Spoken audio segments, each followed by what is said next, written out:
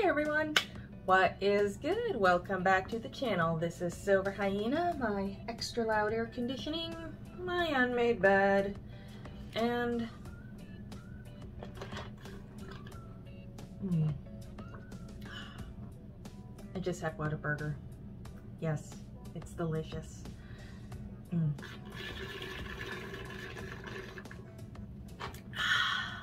Anyways, what I have going for today's video, it's only, oh, I don't know, about a year late. I mean, it's, it's not like anybody's been waiting for this specifically.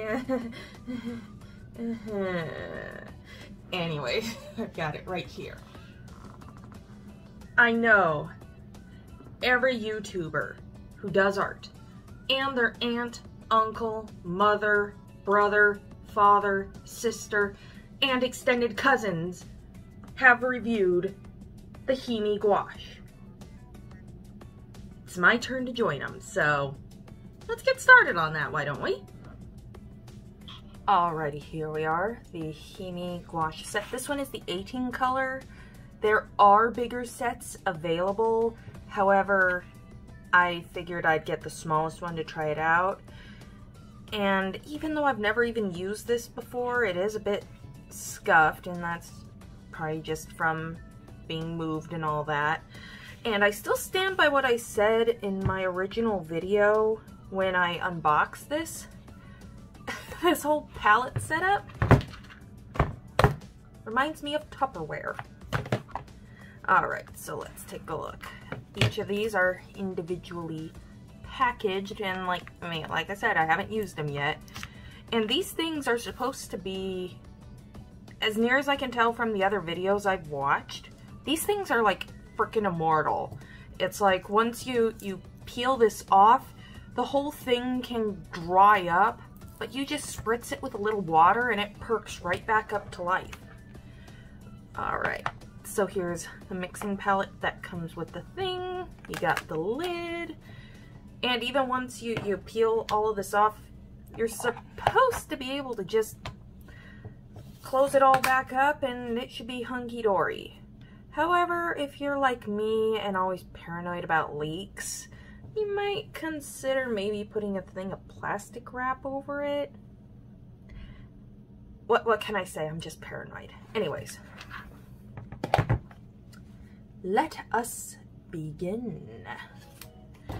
I know I probably said that earlier, but this is, oh boy, where do I, ah, where do I start? Geez, some of these are kind of a pain in the butt to get out. Come on! Ugh.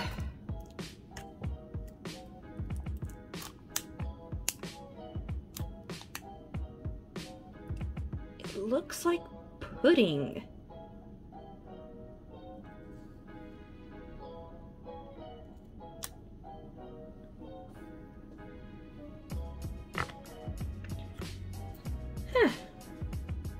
Wasn't that satisfying? Well, only 17 more of these things to go. Eh, just give me a quick minute. Okay, well it looks like there is a little bit of separation in the pigments, but that's probably just because, well, this thing has been just kind of sitting for over a year, but that's okay, that's okay. I, like, I have not lost hope, I'm pretty sure. Just mix it up, it'll spring right back to life. Anyways, let's test that theory. I, I haven't been able to decide though if I'm really happy that they included two whites or if that's a waste of a color. Like, I'm, I'm hoping, hey, maybe I'll go through a lot of white and make it worthwhile. Maybe that's also why the bigger sets are a thing. Well, if I really enjoy this, then I may consider investing in a bigger set.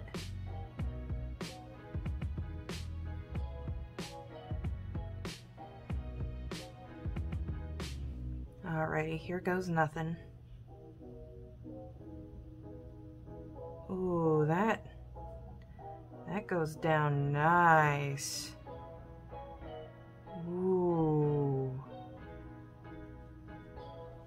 That is. I like that.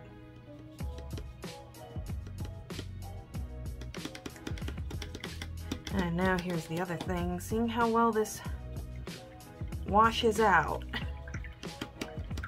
Now then, while gouache is similar to watercolors, one thing it does do, it really likes to stick to your paintbrushes, I'll tell you. it used to be white. Anyways, I'm gonna finish up the swatches and then do a blend test and then an illustration. I mean, you guys know how the order goes. Although sometimes I do skip a few steps, I admit. Anyways, um, yep, time to speed things up.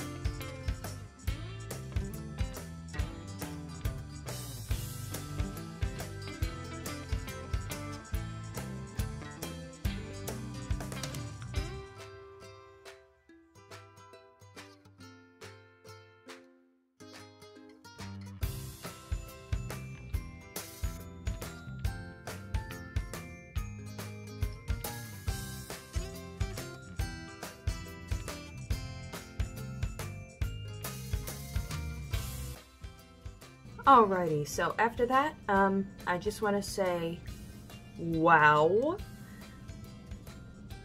The, these, these paints, so far in the swatching process, they live up to the hype. I, I enjoyed them. I mean, like, the, the one issue, and this isn't the paints themselves necessarily, uh, cleaning the brush that is a hassle because look how murky this water gets. I mean, like I had to change out the water multiple times while, whoa, there I go, dropping my paintbrush.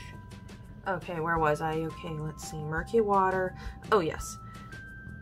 So you're gonna need to periodically clean out your water quite often. However, I mean, like the, this gradient, I mean, these things, they blend beautifully. And it looks like as it's drying, you get a really nice matte finish. I mean, and the, the, the blending, I mean, like, they, they mix well. I mean, like, they, it's kind of like, it almost feels like using acrylic paint in a way, but it's not. I mean, like, these, these are fascinating. I, I, I love them. Anyways, let us move on to an illustration because mm, I, I can't wait. I, I these are these are cool. I, I 10 out of 10 recommend so far.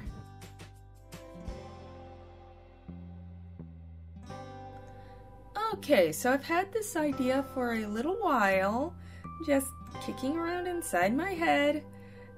combining dragons, something that I absolutely love, with desserts. Also, something that I love. Because of the array of bright colors in this set, I really wanted to take advantage of that, so I decided on strawberry shortcake for this one. Sweet, spongy, creamy. I'm thinking that I might do a key lime pie and some sort of chocolate somewhere down the line. Not sure when though. Question What is your favorite dessert? Do you like drinking coffee with your desserts? Oh, there we go. I need to do a coffee dragon too. Yum. Okay, as I mentioned and showed earlier, these gouaches blend together and mix beautifully. The texture is so creamy and I want to say delicious, but I wouldn't recommend putting these in your mouth. No, no, don't, don't do that. It's like acrylic paints that are just smoother and easier to use. Now, a point of mention, once these gouaches dry, they re-wet on the paper very easily, which could be considered a mixed blessing. With that being said, these paints layer exceptionally well and the smooth matte finish has excellent coverage. I mean like it, it like light covers dark, dark will cover light. I love these things. It's no wonder every art YouTuber, it seems, has gotten their hands on this jelly gouache at some point or another. This stuff is just beautifully enjoyable to use. I love the little Tupperware-like container it comes in. And with just a spritz of water, this stuff springs back to life after drying. And at the time when I purchased these, they had a reasonable price tag. I'll have the current price pop up on the screen now. Another point to mention, I picked up the smallest set, the 18 count. There are larger sets of jelly gouache, and the palettes come in a multitude of cute, cheerful pastel colors. Now, it's only fair to mention some drawbacks. One thing I don't recall being mentioned by any of the other people that have reviewed these is just how much you're going to need to clean out your rinse cups and brushes in between colors. I swear half the time that I spent on this piece was rinsing off my brushes, so be prepared for that. And this is more of a nitpick than a drawback, but this palette is like a brick. It's heavy. I wouldn't recommend this for a travel set of any sort. Huh. That's really the only drawbacks that I can think of. These paints are just that awesome. Consider picking up a set and trying them out for yourself. If you have used Jelly Gouache before, let me know what you think of it in the comments below. As always, you know I love to hear what you guys have to say.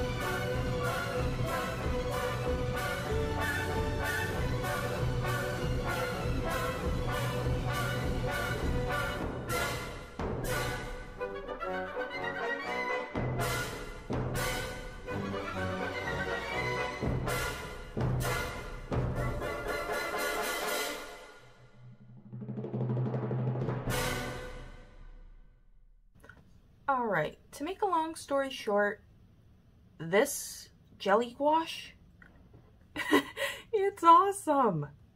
I loved this stuff. It was so much fun to use. I, I really think that the best way I can describe it is as if acrylics and watercolors had a love child. If I had to give it a numerical rating, I, I would say that an 8 out of 10. That's what I'd go with. Because there are issues, but there's issues with just about anything. Uh, but these, these were fun. These were fun. I enjoyed doing this. I think I need to do more dessert dragons in the future because dang it if I'm not craving strawberries right now. Some strawberry shortcake. That sounds.